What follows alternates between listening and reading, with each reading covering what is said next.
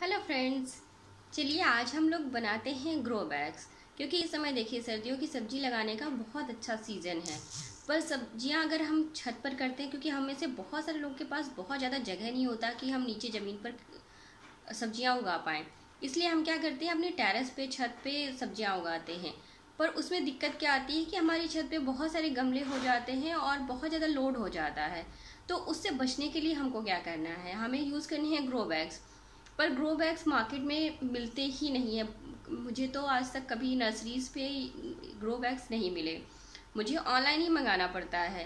पर मैंने क्या सोचा कि ऑनलाइन ये बहुत कॉस्टली होते हैं। तो चलिए घर में सस्ते में बनाते हैं आज ग्रो बैग्स जिससे आप अपनी गार्डनिंग चाहे तो ये ज़रूरी नहीं कि आप उसमें वेजिटेबल्स ही लगा सकते हैं। जैसे विंटर के फ्लावर्स अभी आएँगे, आप उनको भी लगा सकते हैं उन ग्रो बैग्स में। एक मैंने बना कर रखा है, वो मैं आपको दिखा देती हूँ। ये देखिए। ये देखिए, ये राउंड शेप का है, इस तरीके से। ये काफ़ी बड़ा है। ये वेजिटेबल्स आप इसमें पम्पकिन या फिर सेम वगैरह लगा सकते हैं। ये देखिए राउंड शेप का है। इसमें अभी मिट्टी नहीं डली है, ये इसलिए अभी ऐसा दिख रहा है। आप चाहें तो अपने, देखिए मार्केट में जो मिलते हैं, उनका साइज़ फिक्स रहता है। पर यहाँ पर हम क्या कर सकते हैं? अपनी स्पेस और अपनी जो सहूलियत है, उस हिसाब से हम लोग सेलेक्ट कर सकते हैं कि साइज़ का बनाना है। जैसे ये छोटा, इसको बनाने के लिए अब करना क्या है? देखिए, सबसे पहले तो ऐसा एक सर्कल काट लेना है। ये दस इंच इसका इसका ये एरिया दस इंच का है। क्योंकि ये बैग थोड़ा सा मुझे बड़ा दिख रहा था, इसलिए मैंने इस बार सोचा कि मैं छोटा ग्रो बैग बना लेती हूँ। तो ये देखिए, ये दस इंच का है। आप सर्कल काट लीजिए, अगर आप नहीं काट पा रहे हैं सर्कल तो आप पहले पेपर में काट लीजिए। इस तरीके से देखिए, इस तरीके से आप फोल्ड करके पहले पेपर में काट लीजिए, फिर उसको रख कर देखिए ये जो मटेरियल है, ये तिरपाल है। ये आसानी से 25 से 30 रुपए से मीटर से स्टार्ट हो जाता है। फिर आप अपनी जो भी आपको जितना अच्छी क्वालिटी का लेना है, उस क्वालिटी का ले लीजिए। ये मेरे पास घर में पड़ा था, इसलिए मैंने सोचा मैं इसी को यूज़ कर लेती हूँ। आप चाहें तो ये ऑरेंज साइड ऊपर रखिए या चाहें तो ब्लू साइड रखिए, ये आप पे डिपेंड करता है।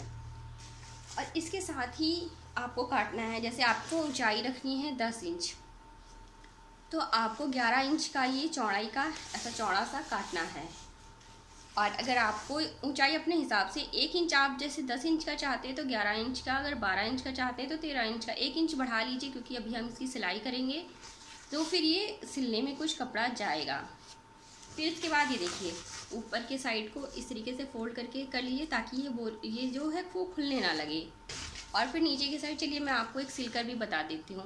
पर इसके साथ साथ आप जैसे जीन्स के कपड़े का भी जैसे आप, जैसे पुरानी जीन्स होती हैं घर में, आप उसका भी ग्रो बैग बना सकते हैं। ये भी बहुत अच्छा होता है। देखिए, सबसे अच्छा है कि इसमें एरेशन रहती है। ये वाला जो है मटेरियल इसमें भी एरेशन बनी रहती है। तो प्लांट्स की जड़ों को कोई दिक्कत नहीं आता है। तो ये वाला जो फैब्रिक है, इसको देखिए, मैंने कट करके रख लिया है। और इसको मैं बनाऊँगी स्क्वायर में, और जो पहले वाला है, उसको मैं सर्कल में ही बनाऊँगी। तो चलिए, बनाते हैं। ये देखिए, ये जो हमने चौको, ये जो हमने रेक्टेंगुलर काटा था, उसको हम यहाँ से ऐसे फोल्ड करके, ये देखिए, इस तरीके से डबल फोल्ड करके, इसको आप चाहें तो अगर आपके पास सिलाई मशीन नहीं है तो आप धागे से भी कर सकते हैं, पर मेरे पास सिलाई मशीन है तो मैं सिलाई मशीन से करती हूँ। चलिए इसको कर लेते हैं।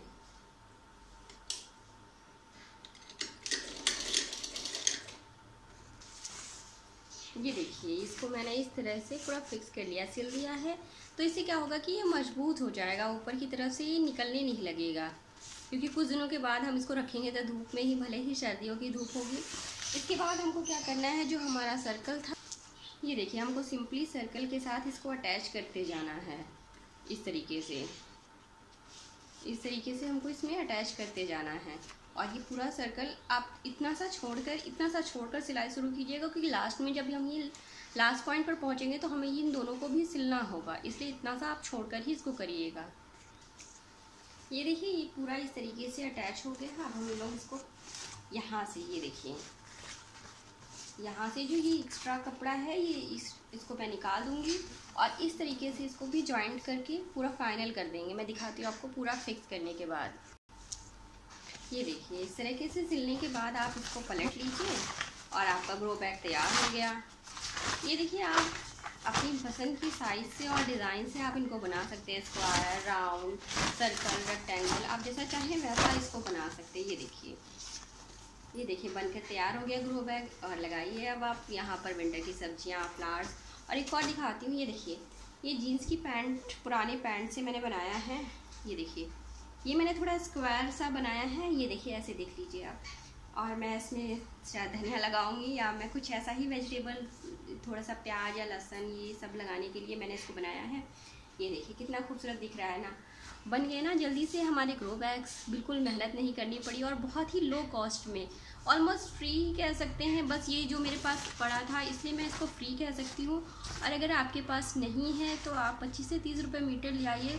और एक मीटर में मेरे ख्याल से दो ग्रो बैग बन जाएँगे। उम्मीद करती हूँ ये वीडियो आपके लिए बहुत ही ज़्यादा हेल्पफुल होगी।